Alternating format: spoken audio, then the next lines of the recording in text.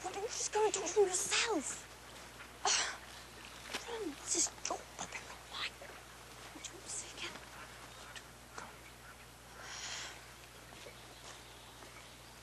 Ronald would like me to tell you that Seamus told him that Dean was told by Parvati that Hagrid's looking for you. Is that right? Well, what? Uh, um... I don't know, do this. Dean was told by Parvati that... Please don't ask me to say it again. Hagrid's looking for you. Well, you can tell Ronald. I'm not an owl!